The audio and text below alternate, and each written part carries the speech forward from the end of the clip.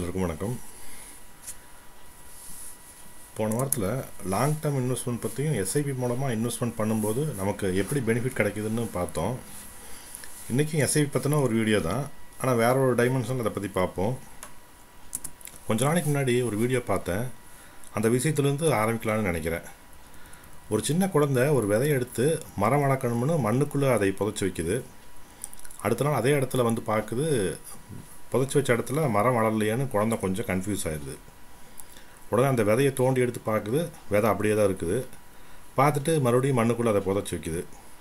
அடுத்த நாள் வந்து பார்க்குது மரம் வளரலைன்னு நினச்சிட்டு மறுபடியும் தோண்டி எடுத்து பார்த்துட்டு மறுபடியும் புதைச்சி வைக்குது. அந்த சின்ன குழந்தையோட அறிவுக்கு ஒரு விதையை புதைச்சி வச்சா அடுத்த நாளே அது மரமாக வளராதுன்னு தெரியல. இதே மாதிரி தான் நம்மளில் நிறைய பேர் இருக்கிறோம். கடந்த ஒன்று ரெண்டு வருஷங்களில் நீங்கள் இன்வெஸ்ட்மெண்ட் எஸ்ஐபியில் ஸ்டார்ட் பண்ணியிருந்தா இதே மாதிரி கன்ஃபியூஷன் நிறைய பேருக்கு வந்திருக்கலாம்.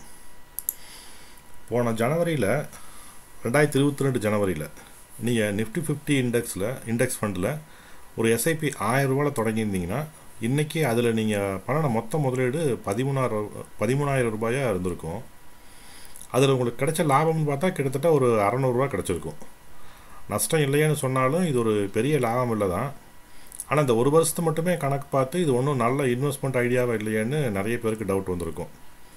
நீங்கள் இந்த நிஃப்டி ஃபிஃப்டி இண்டெக்ஸோட கடந்த கால ஒரு வருஷம் ஆவரேஜ் ரிட்டர்ன் எடுத்து பார்த்தாலும் இதே அளவில் தான் கிடச்சிருக்கும். அதாவது மார்க்கெட் சைடு வேஸ்லேயோ இல்லை மார்க்கெட் இறங்கி இறங்கி இருக்கிற போதோ பார்த்தோம்னா பல பத்து வருஷம் டேட்டா எடுத்து பார்த்தோம்னா கூட இப்படி தான் இருந்திருக்கும். பெரிய அளவில் ரிட்டர்ன் கிடச்சிருக்காது. மார்க்கெட் நல்லா மேலே ஏறி போயிட்டு இருக்கும்போது தான் நிஃப்டி ஃபிஃப்டி இண்டெக்ஸில் நம்ம இன்வெஸ்ட் பண்ணாலும் இல்லை வேறு ஏதாவது ஃபண்டில் இன்வெஸ்ட் பண்ணாலும் நமக்கு பெரிய அளவு ரிட்டர்ன் கிடைக்கும். மார்க்கெட் சைடு வேஸ்லேயோ இறங்கிட்டோ இருக்கும்போது நமக்கு பெரிய அளவு ரிட்டர்ன் கிடைக்கிறதுக்கு வாய்ப்பே இல்லை.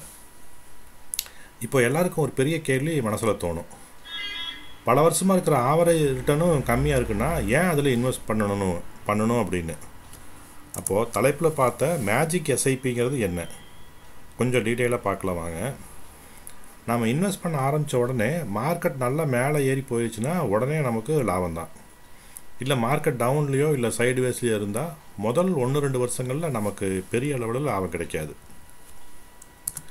ஆவரேஜாக ஒரு வருஷத்துக்கு பன்னெண்டு பர்சன்ட் கண்டிப்பாக கிடைக்கணும்னு நிறைய வீடியோவில் சொல்லியிருந்தேன். ஆனால் இந்த மாதிரி நேரங்களில் முதல் வருஷத்தில் ஆறு பர்சன்ட் தான் நமக்கு கிடைக்கும் லாபமாக ரெண்டாவது வருஷம் கடைசியில் தான் அது பன்னெண்டு பர்சன்ட் லாபமாக மாறும். ரெண்டு வருஷத்துக்கு பின்னாடி தான் நமக்கு பன்னெண்டு பர்சன்ட் கிடைக்குது. அதனால் இது பெட்டரான ஆப்ஷன் இல்லைன்னு இப்போவும் நிறைய பேர் நினைப்பாங்க. ஆனால் இந்த எஸ்ஐபி அஞ்சு வருஷத்தை தாண்டும் போது தான் அந்த மேஜிக் நடக்குது. காம்பவுண்டிங் அப்படிங்கிற விஷயம் அப்போ தான் நடக்குது.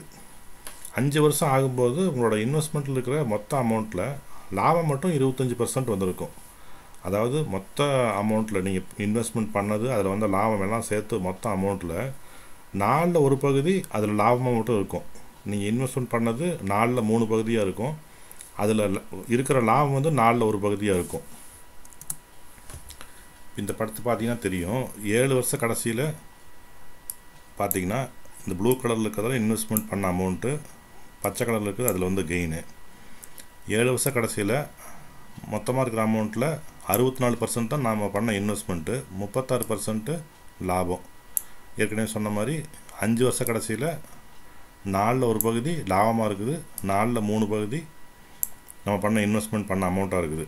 வருஷம் அதிகமாக அதிகமாக அந்த மொத்த அமௌண்ட்டை கனெக்ட் பண்ணும்போது லாபம் அதிகமாகிட்டே போகுது. நம்ம பண்ண இன்வெஸ்ட்மெண்ட்டு கம்மியாக இருக்குது. அதாவது மொத்தமாக இருக்கிற அமௌண்ட்டில் கணக்கு பார்த்தி கனெக்ட் பண்ணி பார்த்தோம்னா பதினஞ்சு வருஷங்கும் போது அது முப்பத்தாறு பர்சன்ட் தான். மொத்தம் இருக்கிற அமௌண்ட்டில் முப்பத்தாறு பர்சன்ட் தான் நம்ம பண்ண இன்வெஸ்ட்மெண்ட்டு அறுபத்தி நாலு பர்சன்ட் அதில் வந்து லாபம் மட்டுமே அறுபத்தி நாலு பர்சன்ட்டு மொத்தமாக இருக்கிற அமௌண்ட்டில் அதே இருபது வருஷமாக ஆகும்போது நம்ம நாலில் ஒரு பகுதி தான் அதில் இருக்கிற நாலில் ஒரு பகுதி தான் நம்ம பண்ண இன்வெஸ்ட்மெண்ட்டு நாலில் மூணு பகுதி நமக்கு அதில் வந்த லாபம். அஞ்சு வருஷத்தில் இருக்கிறது அப்படியே தலைகீழாக இருபது வருஷங்கும் போது மாறுது. இதில் நான் அஞ்சு வருஷங்கும் போது நம்ம இன்வெஸ்ட்மெண்ட் அமௌண்ட் தான் மூணில் ஒரு பகுதி. இருபது வருஷங்கும் போது அதில் வர லாபம் தான் மூணில் ஒரு பகுதி. அதுக்கப்புறம் இருபத்தஞ்சுன்னு போனோம்னா அது இன்னும் கம்மியாகுது.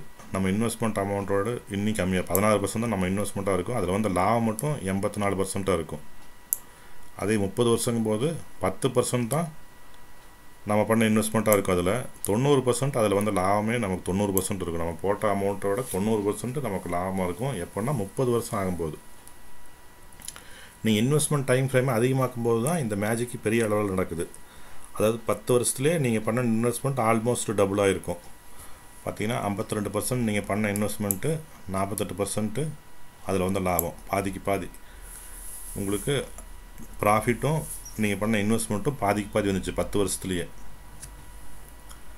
அதுக்கப்புறமா இன்வெஸ்ட்மெண்ட் கன்டினியூ கண்டினியூ பண்ணிட்டு இருந்தால் தான் நீங்கள் இன்வெஸ்ட் பண்ணுற அமௌண்ட் கம்மியாக இருக்கும் அதில் கிடைக்கிற ப்ராஃபிட்டு அதிகமாக இருக்கும். இந்த படத்துலேருந்து உங்களுக்கு அது நல்லா புரிஞ்சிருக்கும்னு நினைக்கிறேன். ஏற்கனவே ஒரு கோடி சேர்க்கற பற்றி ஒரு வீடியோவை பார்த்துருப்பீங்க. அது எப்படி வேலை செய்யுதுன்னு இப்போ உங்களுக்கு புரிஞ்சிருக்கும்னு நினைக்கிறேன். இந்த மேஜிக் நடக்கணும்னா உங்கள் இன்வெஸ்ட்மெண்ட் லாங் டேர்முக்கு இருக்கணும்னு உங்களுக்கு நல்லா புரிஞ்சிருக்கும்னு நினைக்கிறேன்.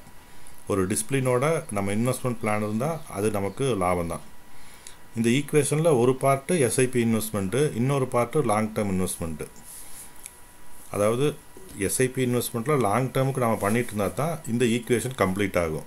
நம்ம இடையில அதை பிரேக் பண்ணாலோ இல்லை ரெண்டு வருஷம் மூணு வருஷம் அஞ்சு வருஷத்துக்குள்ளேயே அதை பிரேக் பண்ணாலோ இந்த மேஜிக் நடக்காது. அதுதான் இந்த மேஜிக் எஸ்ஐபி அப்படின்னு சொல்கிறது ஷேர் மார்க்கெட்டில் பொறுமையாக இருந்தால் அதுக்கான பலன் கண்டிப்பாக கிடைக்கும்.